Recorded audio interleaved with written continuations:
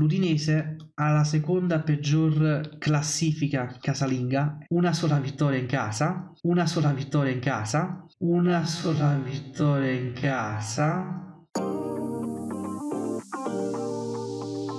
Signori, bentornati o benvenuti sul canale, io sono Dario del Darion e oggi siamo qui riuniti in questa domenica particolare, no? Perché di solito la domenica siamo qui a fare le pagelle oppure eh, fare il post partita, perché di solito la domenica è il giorno della partita, invece eh, non so da, dopo quanti anni eh, siamo qui a vivere una domenica vigilia perché in realtà il Napoli giocherà domani andrà a Udine in una partita che inevitabilmente ti porta alla partita dell'anno scorso. Ormai lo stadio di Udine, diciamo che diventerà, verrà sempre associato a quella partita lì. Comunque, siamo qui per parlare di Udinese Napoli. Prima però di fare questo vi ricordo come sempre le solite raccomandazioni, iscrivetevi al canale che è totalmente gratis, attivate anche la campanella che, che, così rimarrete sempre aggiornati. Prima di parlare della partita voglio un attimo aprire una piccola parentesi su eh, una notizia che è stata lanciata eh, ieri sera da Sky, fatemi controllare. Vabbè, l'articolo è uscito stanotte di Calcio Napoli 24, quindi l'hanno fatta uscire ieri sera la notizia. Eh, Sky di Marzio ha lanciato una notizia di calciomercato che riguarda il Napoli e adesso ve la vado a leggere. Si parla di Osimen, voi sapete che Osimen al 99,99999% quest'estate andrà eh, altrove, se ne andrà da Napoli e la squadra diciamo oggi più vicina Osimen sarebbe il Paris Saint Germain, ok? Ieri sera Di Marzio ci ha detto che praticamente oltre al Paris Saint Germain ci sarebbe anche il Chelsea ci ha dato anche una bozza diciamo di trattativa Di Marzio praticamente ci dice che il Chelsea starebbe cercando di capire quindi già qua starebbe cercando di capire la fattibilità di un'operazione da 90 milioni più l'inserimento di due contropartite. Una che sarebbe un giovane, così generico, l'altro giocatore sapete chi è?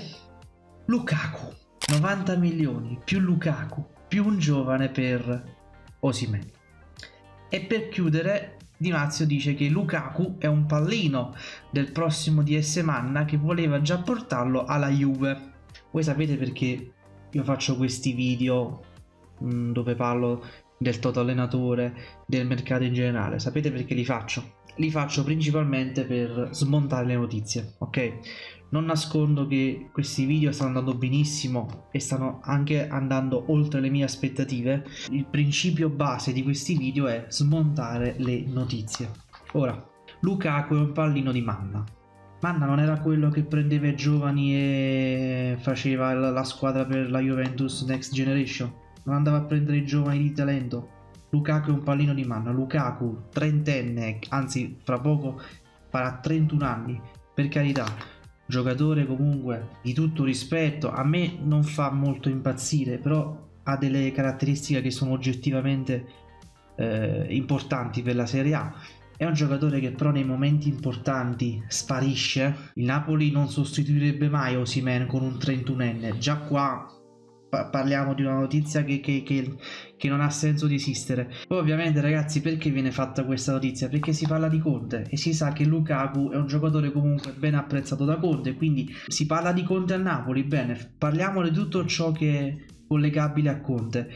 Quindi questa notizia ragazzi, onestamente io, cioè, vi dico la mia, non prendetela proprio in considerazione perché l'ennesima butad messa lì per fare qualche click e qualche vendita di giornale in più tutto qui, cioè questa è la notizia.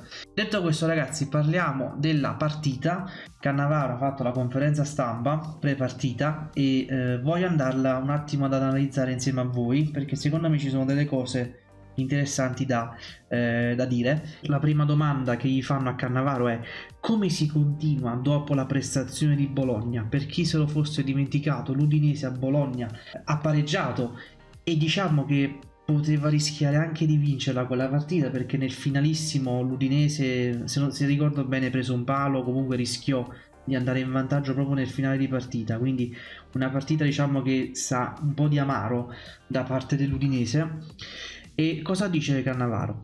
Dobbiamo essere bravi nel mantenere le distanze giuste nei riparti. Questa cosa della compattezza, ragazzi, Cannavaro la dirà più volte nella stessa conferenza stampa. Poi ovviamente attenzione superiore rispetto al Bologna sia in fase di possesso che in fase di non possesso. Poi si parla un po' delle rotazioni, delle, dei, degli indisponibili e eh, diciamo che l'Udinese domani avrà un bel po' di defezioni in un po' tutti i reparti perché hanno vabbè, Silvestri a porta che è infortunato però sappiamo che da tempo ha perso il posto. Non ci sarà Lobric che comunque è una perdita importante. Non ci sarà Toven De Lofeo vabbè è, fermo da tempo. E Bossé e Giannetti e eh, da quel che ho letto non dovrebbe esserci nemmeno Noven Perez, il famoso Perez che a gennaio De Laurentiis aveva offerto cos'era, 25 milioni all inclusive, una roba del genere, quindi l'Udinese sicuramente ha delle defezioni importanti per la partita di domani.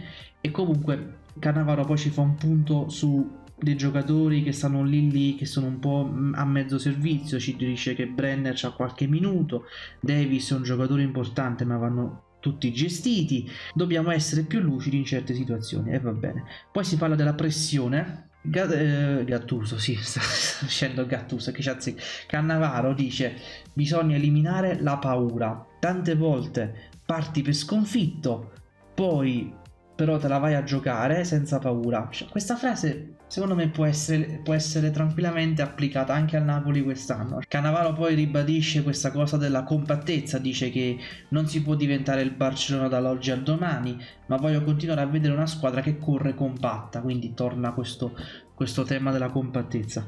L'Udinese aspetterà l'avversario domani? Dice Cannavaro. Il gioco del Napoli ti porta a essere basso, e ci siamo. Sto cercando di far capire ai ragazzi che si può accorciare, alzare la difesa, spingere più fuori con gli attaccanti. Bisogna pressare anche nella metà campo avversaria senza paura. Quindi diciamo che Cannavaro si aspetta di vedere un Udinese diciamo un po' più attiva e propositiva, ecco mettiamola così, specialmente nella fase di non possesso, perché ti dice alzare la difesa, accorciare in avanti, spingere fuori con gli attaccanti, quindi gli attaccanti devono essere primi a iniziare il pressing sugli avversari, quindi diciamo che domani teoricamente Cannavaro ci ha spoilerato che dovrebbe, dovrebbe diciamo, vedersi un'Udinese un un po' più propositiva e un po' più coraggiosa. Una domanda su Empoli Frosinone che si gioca oggi e dice il risultato di questa partita può pesare? Dice giustamente Cannavaro dice eh no perché io devo pensare a quello che succede in casa mia e posso dire la verità, hai Empoli Frosinone e poi l'Udinese che si stanno giocando praticamente l'ultimo posto in, in, campionato. Ci sarebbe anche il Sassuolo che magicamente ieri ha vinto contro l'Inter. L'Inter quest'anno ha perso 6 punti su 6 contro il Sassuolo, molto strano. Ci sono 4 squadre no, che sono in lotta per la, la, la salvezza. Le partite, secondo me, di queste squadre andrebbero giocate in contemporanea. Perché se metti caso che stasera, no, il Frosinone va, vince e l'Udinese poi dovrà, dovrà metterci, cioè mentalmente sa che se perde domani è quasi finita, quindi potrebbe vedersi un, un, Udinese ancora più battagliera, ancora più vogliosa di vincere, come si può, come si può vedere anche l'opposto, cioè un, un, Udinese che vede che vince il Frosinone e quindi si deprime ancora di più. Cioè io queste partite le farei giocare tutte in contemporanea perché Inevitabilmente se le metti una oggi, una domani, una il giorno prima, vai a falsare tutto, secondo me. Però non si farà perché? Perché i diritti TV sono fondamentali. Ritrovi il Napoli, ecco la domanda sul Napoli per Cannavaro e qua Cannavaro diciamo che fa il professionista e, e dice una cosa giustissima, cioè io sono appassionato e tifoso del Napoli, giocarci contro sarà emozionante, però io devo pensare al bene dell'Udinese ed è giustissimo. Poi domanda un po' tattica, eh, con Zarraga al posto di Paiero domani cambierà la squadra? E qui Cannavaro ci dà un po' di nozioni ecco, teoriche. Cerchiamo di sfruttare le caratteristiche dei giocatori, ma non deve cambiare il concetto base, ovvero l'occupazione degli spazi, l'essere propositivi e la fase di possesso. Quindi nozioni che poi vanno applicate diciamo sul sul campo perché anche Mazzari parlava di occupazione degli spazi, dei terzini che tagliavano dentro al campo e poi non si è visto minimamente niente di quello che aveva detto. Quindi ragazzi questo diciamo sono le, le, le parti più importanti della conferenza di Cannavaro, diciamo che in generale domani dobbiamo, dovremmo aspettarci un Udinese comunque coraggiosa e che gioca in modo propositivo. Detto questo, passiamo alle probabili formazioni. Io questo video ragazzi lo sto facendo prima del report allenamento che uscirà sicuramente oggi pomeriggio, lo sto facendo prima della lista del, dei convocati, quindi è una formazione che potrebbe cambiare in base al report allenamento. Mi baso principalmente su quello che è stato detto ieri, cioè Gollini, Zielinski e Kvaratskhelia out. Io penso che Kvara domani non ci sarà, non credo che verrà manco convocato. E ragazzi, l'assenza di Kvara sarà un'assenza sicuramente importante che sposterà perché sappiamo che il Napoli con Kvara è un Napoli, il Napoli senza Kvara fatica molto di più.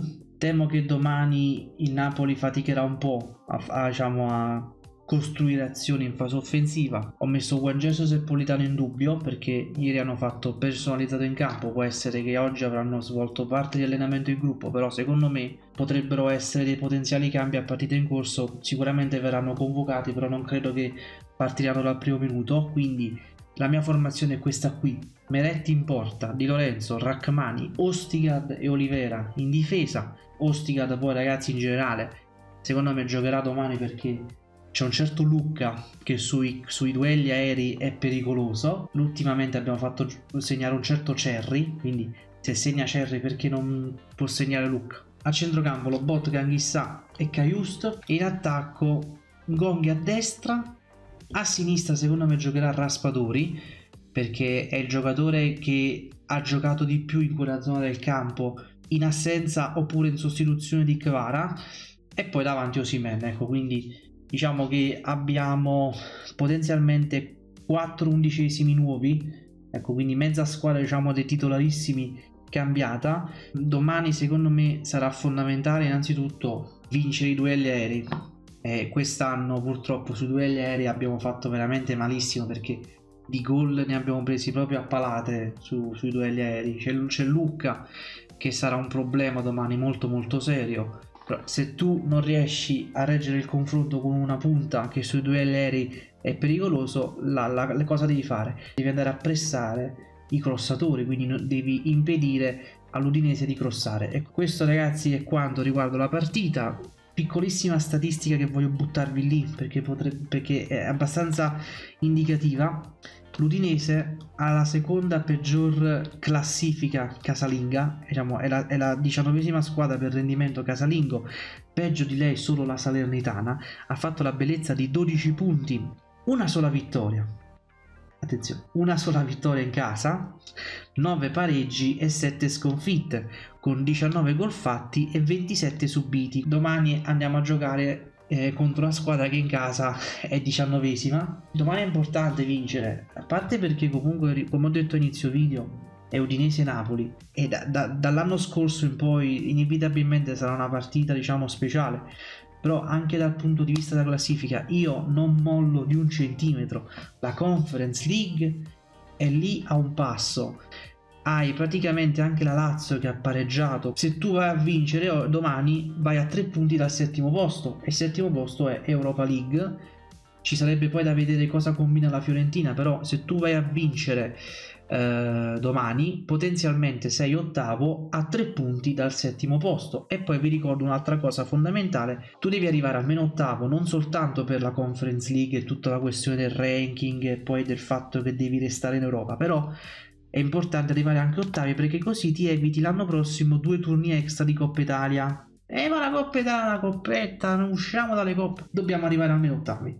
Quindi almeno quello, cioè veramente fare una stagione da scudettati senza andare nemmeno in Europa, veramente sarebbe da zero spaccato nella pagella. Quanto sarà bellissimo quest'anno fare le pagelle di fine anno. Comunque ragazzi, questo è quanto.